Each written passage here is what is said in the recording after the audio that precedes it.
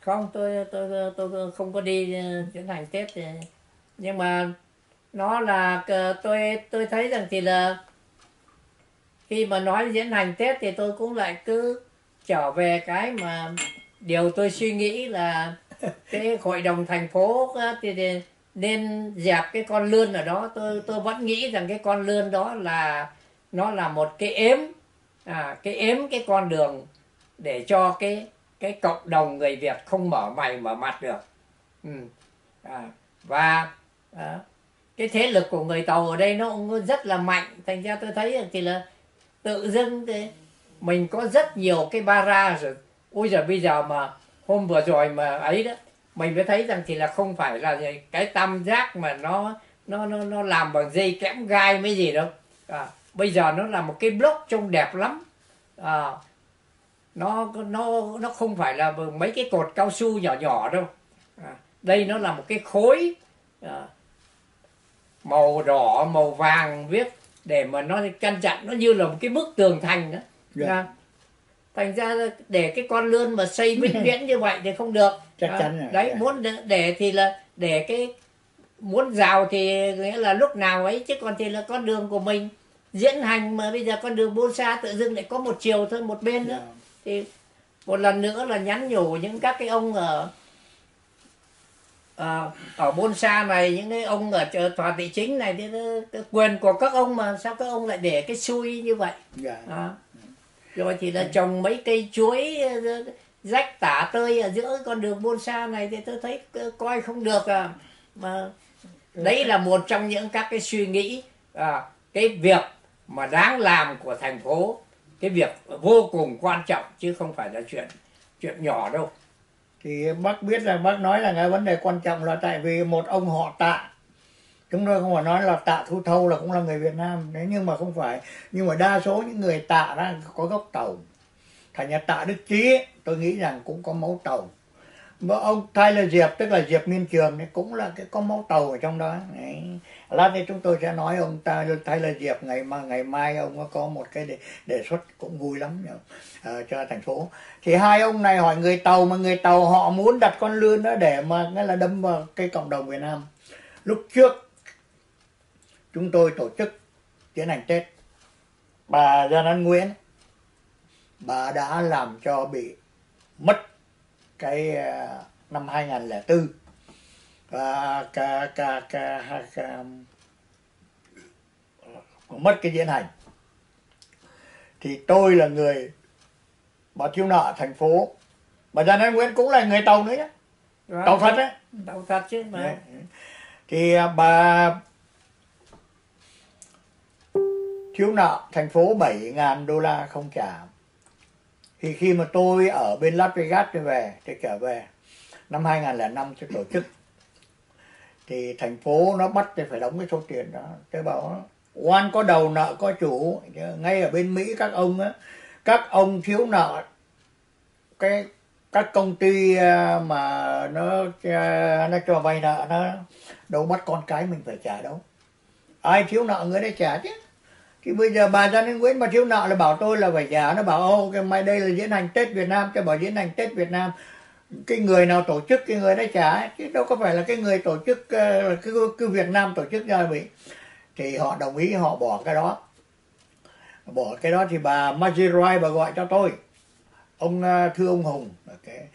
bà Giang An Nguyễn, tức là lúc đó đang làm giám sát viên. Bà đã trả 7.000 đô la cho thành phố rồi ông vui lòng đừng có nhắc tên bà nữa. Cái con Giang An Nguyễn này này. Tôi gọi là con. Nó gặp tôi trong ờ, nhà hàng Paracel. Nó đứng lấy tay chỉ này. Chú Hùng nói bằng giọng tàu đó. Tôi nói cho chú, chú nghe cái nghe trong giọng cầu không được nói tiếng Mỹ đi. I don't want you talk you writing about me anymore tức là tôi không muốn ông viết về tôi nữa nữa. Thế bảo bà không muốn tôi viết về bà. Ok được. Nhưng mà đó khi bà ra ngoài đường bà không có lắm nói với thật, mấy ông cảnh sát rằng á tôi không muốn ông giấy biên tôi giấy phạt không? Bà có vi phạm thì người ta mới biên giấy phạt cho bà chứ. Thì cũng như tôi đây đó bà có làm sai thì tôi có quyền viết. Thế còn nếu tôi viết sai thì bà có quyền cải trách hay bà đưa tôi ra tòa nhưng mà tôi không muốn bà chỉ mặt tôi yeah. I don't want you point your finger at my face okay? Even you are supervisor. Dù mày là một giám sát viên nhưng mày không có quyền lấy tay mày chỉ vào mặt ta như vậy. You have to respect elder people. Mày phải tôn trọng người lớn tuổi okay. im luôn. Lúc đó lê công tâm đứng sau lưng lúc đó andrew đỗ đứng sau lưng. Có thằng nào dám ca, ca ấy tôi không? Không. Ngày hôm qua tôi đi vào trong Costco. Có một ông cũng à, lớn tuổi rồi à, chắc chắn là phải ngoài 65 đi ngang đây. Thằng uh, bọ đít đi về Việt Nam ăn kích cộng sản ngon không? Tôi mới đi tôi bảo ông nói tôi à ông ta không trả lời. Tôi đi theo tôi đứng nước cạnh tôi. Ông vừa đi tôi, ông không nói tôi một câu nói là ông vài ông hỏi Donald Trump á, kích cộng sản có ngon không?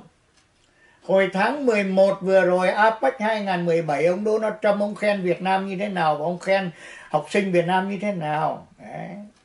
còn bây giờ đó tự nhiên mới đầu năm ra cái đầu Tết tự nhiên gặp tôi ông đó tôi đã ngửi thấy mùi thối ở trong miệng ông rồi cái ông về nhà ông đánh răng trước khi ra đường đánh răng nên tự nhiên mà nói là cứt thối đầy miệng. Ông cũng không trả lời tôi câu này. Tôi đi ngay bên cạnh. À, thì đó thừa quý khán giả ông mẹ tới mà thị trưởng mà tôi còn còn chỉ mặt ra hội đồng thành phố tôi chỉ mặt tạ đức chí cái, cái diệp miên trường.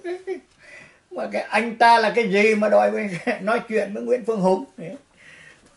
Tôi ở cộng đồng này tôi đã thách lên lên Nguyễn Xuân Nghĩa này, tôi thách tất cả mọi người. Có ai muốn đối thoại với tôi không? Không ai đó có một mình đô ngô kỷ một lần. Việt Weekly set up, tôi với ngô kỷ ngồi. Nói đăng nói nửa chừng. Tôi không làm nói chuyện Nguyễn Văn Hùng nữa, tôi không nói chuyện cái thằng này. Thằng này anh nói ờ, ông đứng dậy bỏ đi. Cái video hãy còn. Anh bí anh bí anh cãi lại không cho lại tôi đấy. Anh bảo tôi không nói là tôi nói là nói chuyện ờ, ngang bướng nhưng mà tôi thấy ngô kỳ hay thấy ngô kỳ hay quý vị thấy là có bác cường chỉ mặt ngô kỳ bác cường nói thẳng đó, nó đâu dám làm gì đâu. Nhiều người không thích bác cường nói chuyện ngô kỳ tôi thích. Và tôi muốn ngô kỳ ngồi đây nè. Ngô kỳ chắc chắn có coi cái video này. Ngô kỳ muốn gọi điện thoại cho tôi. Okay. Đấy. mà gọi điện thoại nữa đây họ lên đây mình ngồi nói chuyện.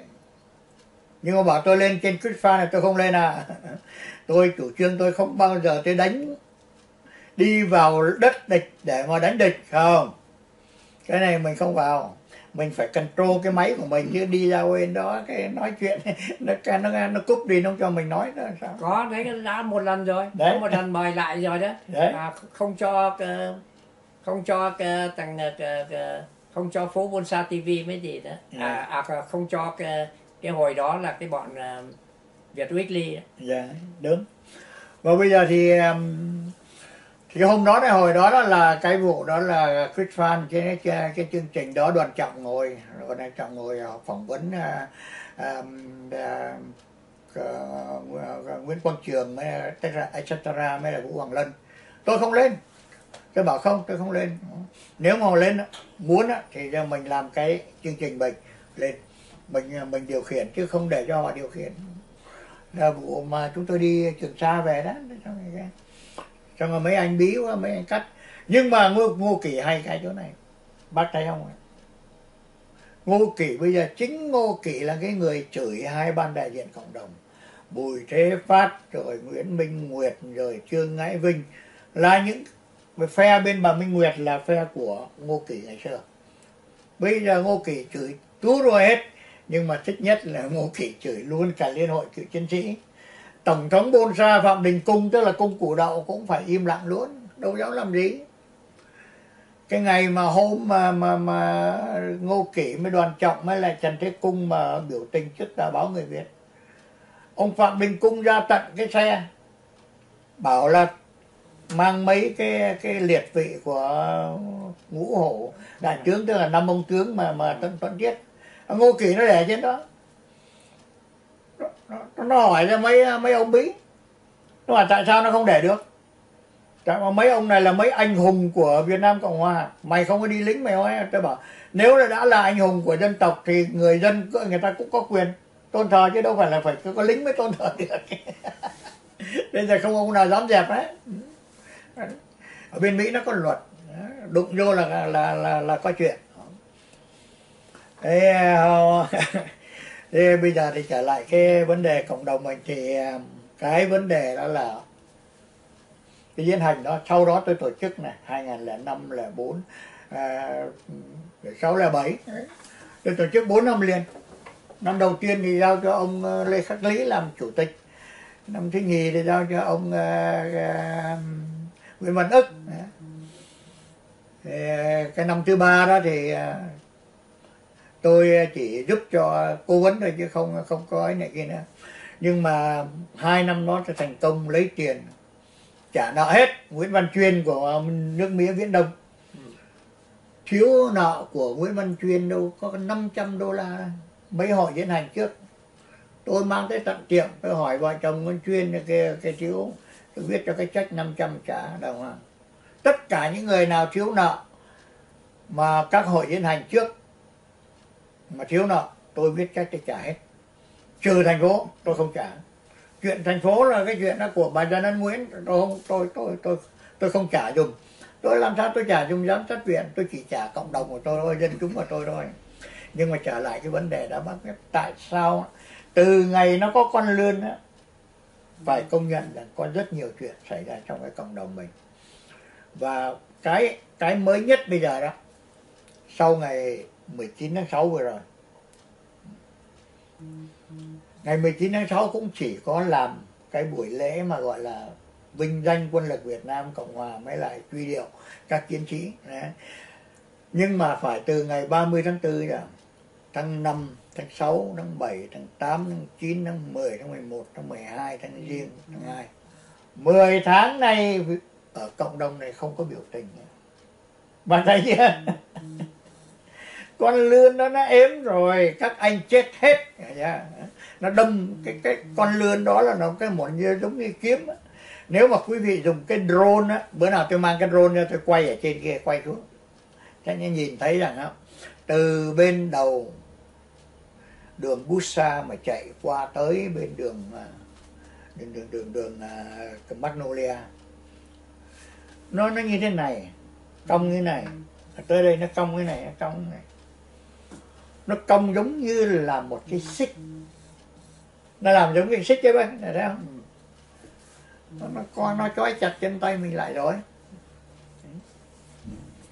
Thế à, nhưng mà cái diễn hành năm ngoái đó thì cũng vui lắm bác.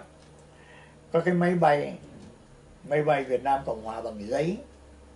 Nó gọi là à, nó gọi là F5 thế nhưng mà khổ cái cái F5 á nó lại làm hai cái đuôi của máy bay của của Nga tức là uh, Su 30 Su 30 tại vì F5 nó chỉ có một ống khói thôi. Các ông ngồi sau mà các ông lấy hai ống khói. Mà dù bây giờ người ta không nhớ đi công nhận là ở lâu năm không nhớ. Đi vào trong Google đi tới gõ cửa nhà ông Google ơi Google ơi. Cho tôi biết cái hình dạng cái F5 đánh chữ F5 nó ra liền. Cả hàng trăm hàng ngàn chiếc máy bay F5 đi đâu đi lấy ngay cái cái máy bay. Thì tôi nghĩ rằng chắc là có anh Việt Cộng là nằm vùng ở trong cái ban tổ chức rồi. Mới làm nó làm cái F5 là hai ống khói. Năm nay bác biết có cái gì không? Có cái tàu hải quân Nhật tàu à, HQ10 HQ10 vui lắm. Mấy ông ấy chạy ở dưới đất nhưng mà lại mặc cái áo có phao nữa mặc áo phao là tức là theo luật hải quân mà leo lên tàu là phải mặc. À, thì cái mặc này mình có thể ra cái coi đó là một cái sự trình diễn đi. Nhưng mà kinh khủng lắm. Làm những cái à, cái miếng cắt tông làm cái ấy đạn kinh khủng lắm. Mà tại sao lại để cho người ta bắn cho mình mà mình khi mình đưa cái tàu hải quân HQ10 lên để mình ra diễn hành là mình không có nhìn thấy một cái rằng á, cái nhục của mình theo tôi nghĩ đó là mình mang cái nhục ra để mình khoe. Buổi diễn hành là cái là truyền thống tết là tết, không có quân đội trong đó. Không có chào cờ trong đó. Mà tết việt nam bác thấy từ xưa nay không?